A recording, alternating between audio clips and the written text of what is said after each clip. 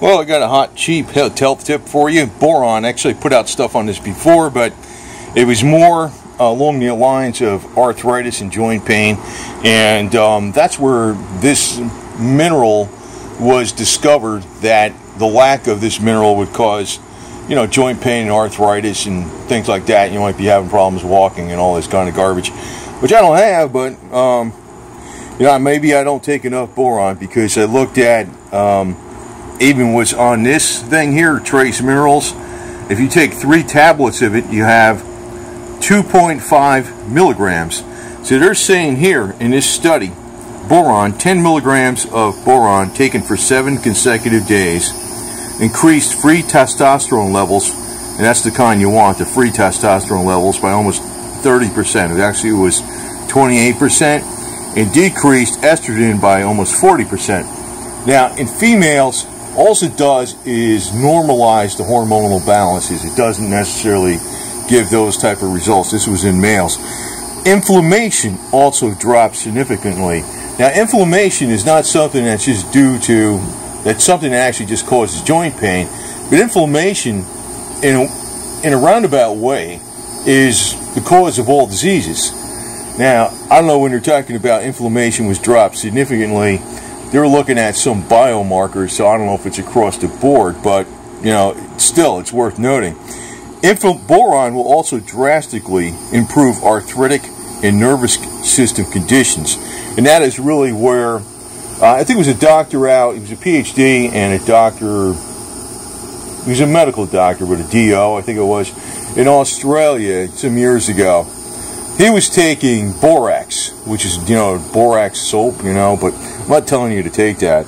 This was a supplement I got off of Puritan's Pride. I think it's about five, six bucks. They're not much money. These are very cheap to take. This is a three milligram dosage. So they're talking, you know, 10 milligrams for seven days. So maybe say nine, take three of them, divide up doses.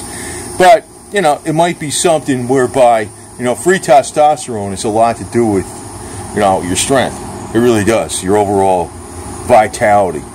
Uh, for males especially. Now, this this study is not really related to females, but again, with females, it just or, normalizes the hormonal balance. So whatever you're out of whack with with hormones, it's going to fix. And you know, one of the big things you really ought to look at is inflammation.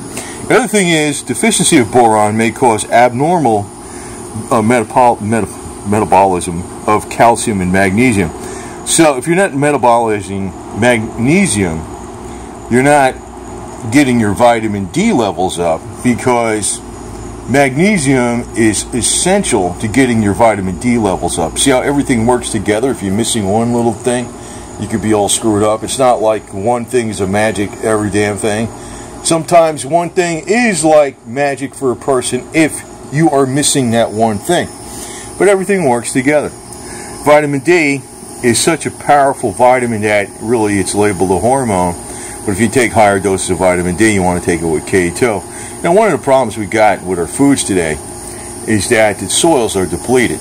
You might have a robust growth of vegetable plant life, but it's not uptaking all the old trace minerals that used to be in the soils. And if you look at longevity on this planet, a lot of times the best long-lived places are where there's a lot of trace minerals in the soil, which might be from glacier mountain runoff, uh, or maybe coral calcium that's from the sea, that's in the coral dust that contains not just coral calcium, but various minerals that are from the plant life, from the dead coral that gets in the soil. So, you know, it's a good idea to take the trace minerals. But like I said, like this dosage of trace minerals has a whole host of different things. It's got uh, magnesium in it, and it's upside down. it's got well, it's got iron, magnesium, sodium. Well, you don't need sodium, but you got potassium. See, everybody's got lots of sodium. Um, alfalfa, kelp. It's got iodine, selenium, boron. It's got 72 trace elements, but if you look at you know, one pill is not the actual dosage. It's three capsules. So three capsules of this is 2.5 milligrams of boron, which is helpful. But, you know, if you're talking, you know, you want to try doing 10 milligrams for seven days, you know, not maybe 10 milligrams every day for 365 a year. But honestly, if you look at some of the other studies, uh, free testosterone increased drastically, even with more boron, mm, more than the 10 milligrams. Now, I know that some people take the borax, which I don't think isn't toxic. But I know the doctor that initially found out about this stuff and he was taking it and it cured all his problems with arthritis. He was a doctor, I forgot his name, in Australia. He got in trouble for saying take borax, which is the soap, you know. I'm not telling you to take that, but you know, take you know in a supplement you could buy over the counter. Um, that this is a good brand, but that's only going to have 2.5 milligrams of boron for three capsules. So you might want to take this and a couple of these, which would equal 8.5 if you took three of those and two of those during the day. But like I said, it works, everything works together. Like if you take a bunch of vitamin D, that's not good to do if you take too much of that unless you're taking the K2 with it. And then if you don't take magnesium with all that, the vitamin D doesn't work to increase, you know, do its magic like a hormone, which actually can reduce the probability of cancer. Believe it or not, with vitamin D, it can do repair a lot of things.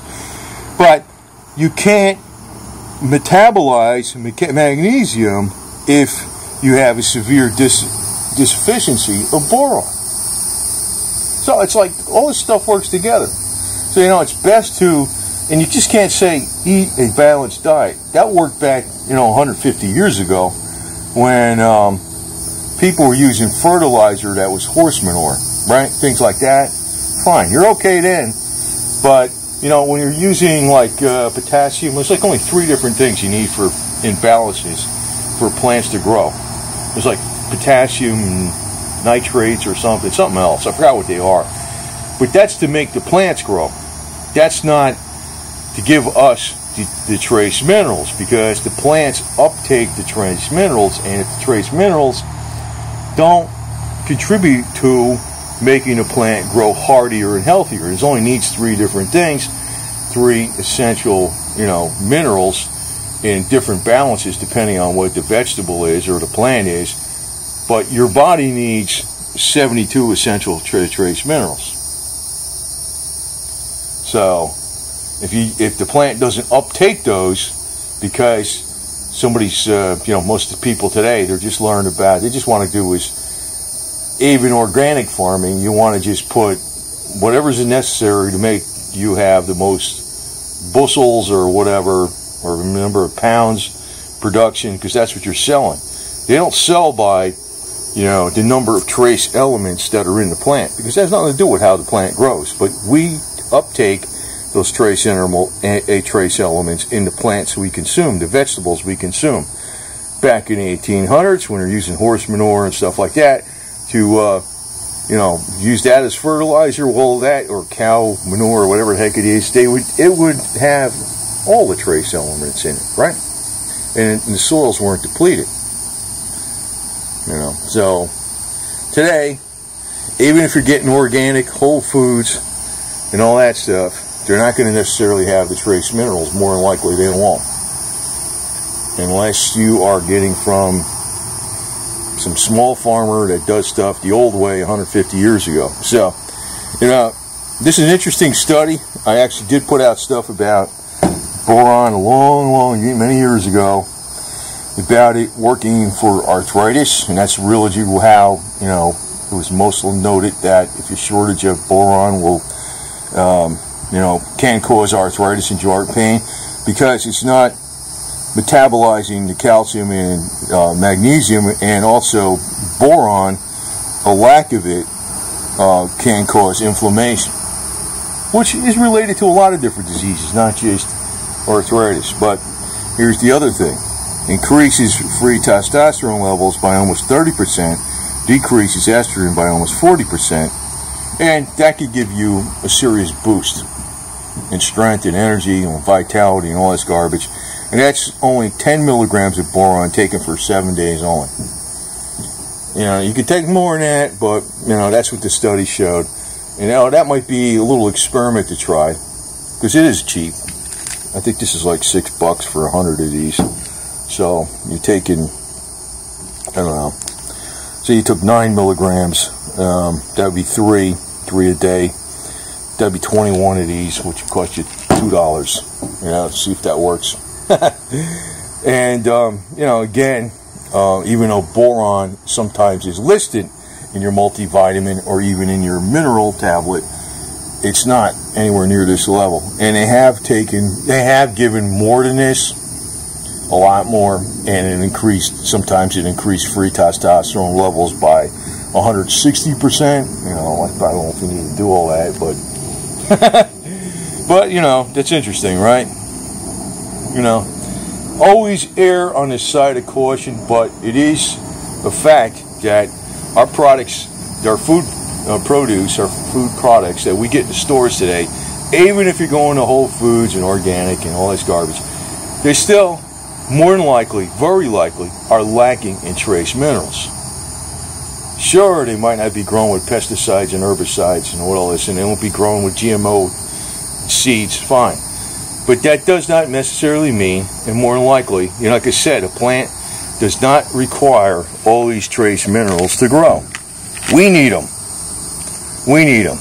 They only need like three different things in three in different balances, depending on what the balance is. You know, like phosphorus and phosphates are one of them. But you know, we need this stuff. And if the plant don't have it, where are you getting it from? You know, unless maybe you're getting grass-fed beef, maybe that might be another way. But how many people eat grass-fed beef? Most of our food is devoid of trace minerals. So, and one of the trace minerals is boron. Magnesium is another important one. Iodine is another important one. Potassium is another important one. Actually, because the potassium sodium balance is really the important thing, but usually we are balanced the wrong way with too much sodium. Like salt is not necessarily that bad, it's just that we have an imbalance of potassium and, and salt, you know, sodium. Just want to note that too. So everything's a balance and everything works together. But if you're missing one thing, it's pretty bad. it could be pretty bad. And sometimes that one thing, that's why sometimes you hear, oh, I tried this one thing and it did everything for me. And uh, well, it's because you're missing that one thing. You could be missing a lot of iodine, and it could do everything for you.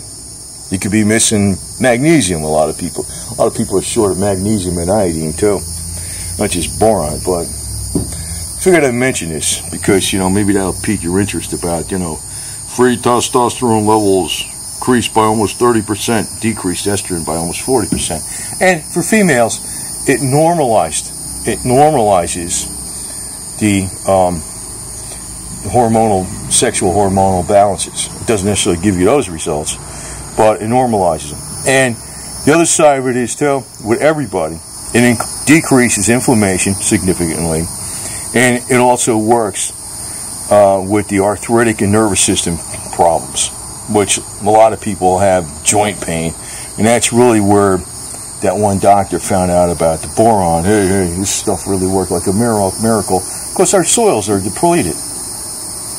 But you know, I'm not telling you to take borax soap. I know some people are going to chime in and say take borax soap. And I don't think it is. It's not toxic or nothing, but you know. the doctor got in trouble for saying that, so I'm telling you to um, take boron in a pre-approved, over-the-counter supplement.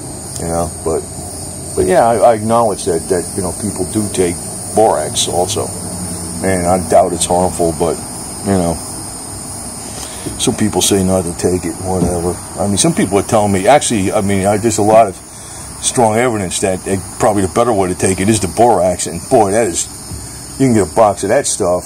I mean, last you 10 years for crying out loud for dirt cheap. And that was another reason probably the doctor got in trouble because uh, he alleviated a lot of patients' problems and and it would cut back these prescriptions like crazy. You know, it's sort of like there's a lot of things out there that can cure a lot of stuff, like garlic can and baking soda can do a lot of wonders.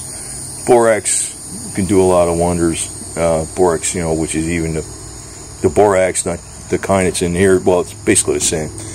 We get the boron to be on the safe side, but you know, I know some people are going to chime in and tell me about borax. I know, I know, I'm aware of it. I'm aware of it, and I agree.